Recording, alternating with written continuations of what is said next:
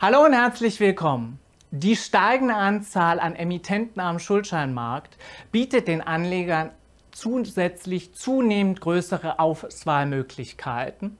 Die Vielzahl der Emittenten macht aber auch den Investitionsprozess zunehmend anspruchsvoller, insbesondere in Phasen hoher Marktbeanspruchung, wenn gleichzeitig viele Dienste in der Vermarktungsphase sind, fällt es manchen Investoren schwer auszuwählen ob sie nun ihre Anlagen diversifizieren möchten oder sich lieber auf Frequent Borrower fokussieren möchten.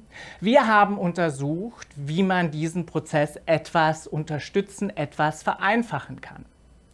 Es zeigt sich nämlich, dass einige Branchen in der Vergangenheit seit 2008 sehr viel häufiger am Schuldscheinmarkt präsent gewesen sind als andere Sektoren. Darüber hinaus zeigt sich auch, dass innerhalb der Sektoren einzelne Emittenten im Durchschnitt mit einer sehr unterschiedlichen Häufigkeit, Wahrscheinlichkeit wieder an den Schuldscheinmarkt kommen. Wenn Sie sich also eher für die Diversifizierung Ihrer Anlagen interessieren, könnten beispielsweise Sektoren wie erneuerbare Energie, Öl und Gas und Haushaltsprodukte für Sie interessant sein.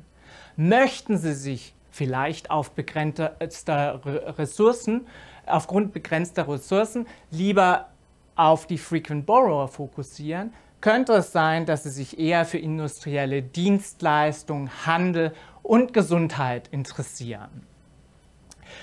Diese Ergebnisse, die ich Ihnen gerade gezeigt habe, werden noch ausgeprägter, wenn man sie mit anderen Faktoren kombiniert, wie zum Beispiel der Umsatzgröße des Emittenten. Es zeigt sich nämlich, dass große Emittenten aus den sehr aktiven Sektoren mit einer deutlich höheren Wahrscheinlichkeit wieder am Schuldscheinmarkt aktiv sind. Hingegen sind kleinere Unternehmen aus den rareren Branchen eher seltener ein zweites Mal vertreten. Darüber hinaus haben wir herausgefunden, dass es weitere Strukturmerkmale gibt, äh, die man nutzen kann, um dieses Emittentenuniversum aufzuteilen. Wenn Sie also mehr darüber wissen möchten, wie man das Emittentenuniversum clustern kann, um Ihren Investitionsprozess zu unterstützen, schauen Sie doch einfach mal in unseren kürzlich veröffentlichten Research Report, verfügbar unter unserer Homepage hier der deutsche und der englische QR-Code für die entsprechende Publikation. Vielen Dank für Ihre Aufmerksamkeit und bleiben Sie gesund.